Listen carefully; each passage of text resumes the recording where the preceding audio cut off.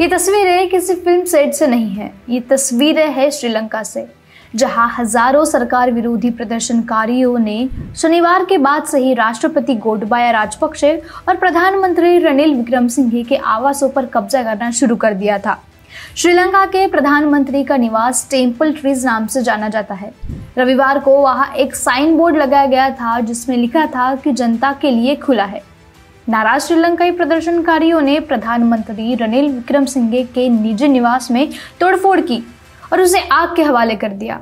इससे कुछ घंटे पहले ही राष्ट्रपति गोडबाया राजपक्षे के इस्तीफे की मांग को लेकर प्रदर्शनकारियों ने राष्ट्रपति आवास पर धावा बोला था। इतना ही नहीं, प्रधानमंत्री आवास को फूक दिया गया, जैसे कि मैंने आपको पहले ही बताया। लोगों ने पुलिस द्वारा लगाए गए सुरक्षा घेरे को तोड़ दिया।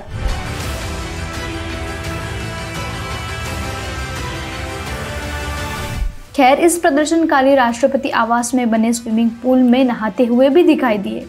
इतना ही नहीं, वीडियो में प्रदर्शनकारी राष्ट्रपति आवास की रसोई और घर में घूमते हुए दिखाई दिए। कुछ प्रदर्शनकारी कैरम भी खेलते हुए नज़र दिखाई दिए। तो कुछ स्विमिंग पूल में नहाते हुए तो कुछ खाना खाते हुए। खैर, इन सब के बीच श्रीलंका में राष्ट्रपति गोडबाया राजपक्षे के इस्तीफे के बाद श्रीलंकाई पार्टियाँ सर्वदलीय अंतरिम सरकार बनाने पर सहमत तो हो गई है। इसी बीच प्रदर्शन उग्र होते देख अज्ञात जगह पर छिपे राष्ट्रपति गोडबाया ने अधिकारियों को रसोई गैस के सुचारू वितरण को सुनिश्चित करने का आदेश दिया है।